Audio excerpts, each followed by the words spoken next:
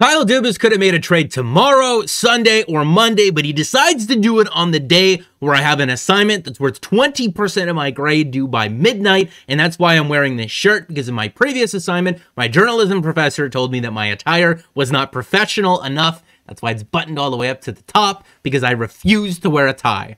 So the trade is they're acquiring Riley Nash for a conditional seventh round selection. I think it has the possibility of upgrading to a sixth round pick if he plays in 50% of the games in the playoffs. But Riley Nash is injured four to six weeks, but it's really important to get the order of operations correct in this situation because it's going to determine how much more cap space the Toronto Maple Leafs have to work with.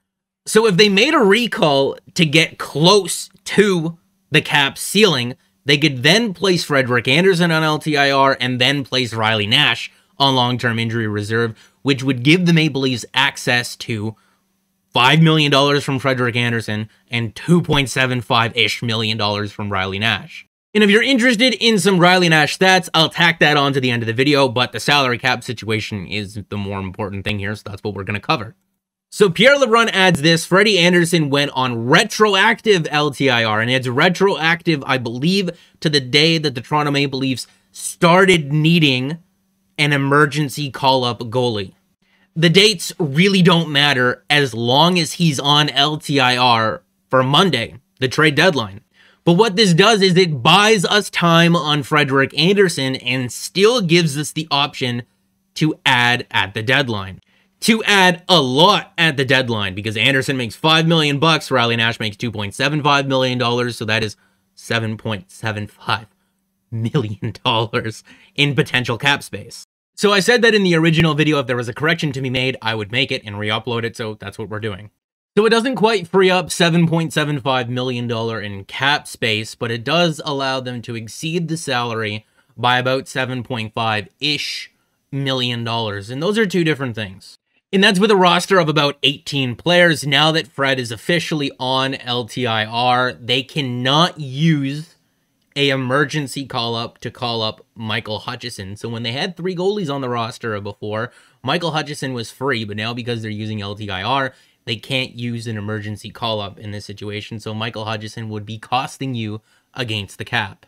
So that gets you up to a roster of 19 players, but you're still missing a forward because remember, William Nylander is on the COVID protocol list, so they need to replace him. He's not on LTIR, he's on IR, and IR only frees up a roster spot. So they need another forward, and they'll more than likely just recall Alexander Barabanov, and since they're using LTIR, they can't use an emergency call-up to do that either, so he would count against the cap as well.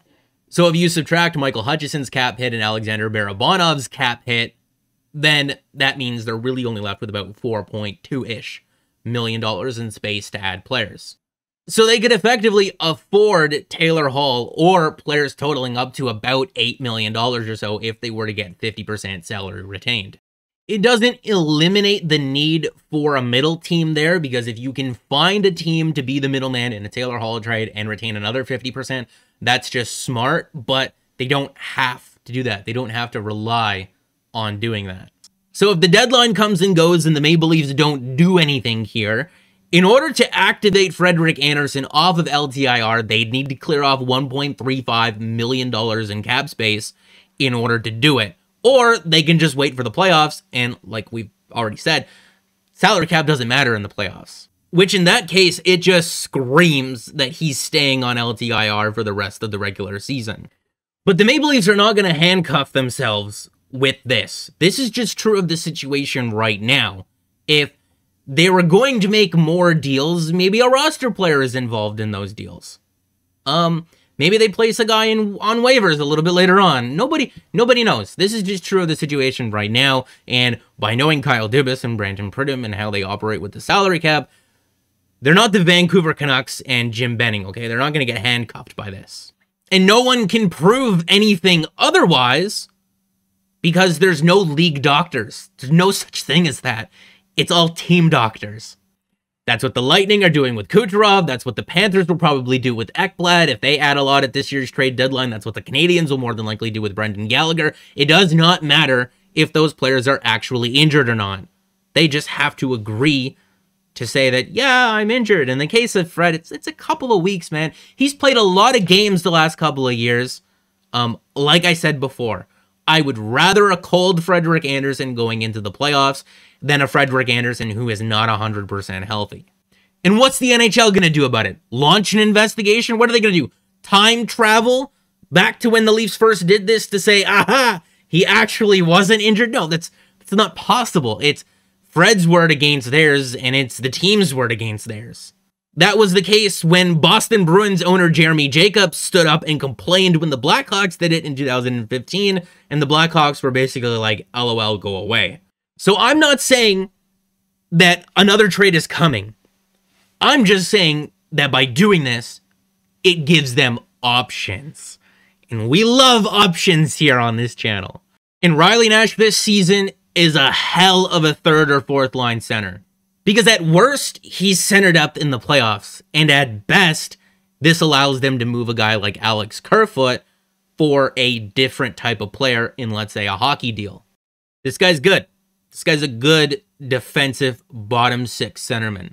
And by the way, you want to talk about a guy who plays nothing but defensive zone shifts?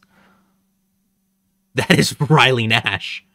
And he does it while almost being about even in terms of the shot attempt share, which is ridiculous. And the reason why the Maple Leafs are able to acquire a player like this for a seventh is because they're doing the salary cap shenanigans. So the Columbus Blue Jackets didn't have to retain any salary on this guy. The seventh turning into a conditional sixth, I believe, if he plays half the games in the playoffs that the Maple Leafs play in. I think, I don't know. Doesn't matter.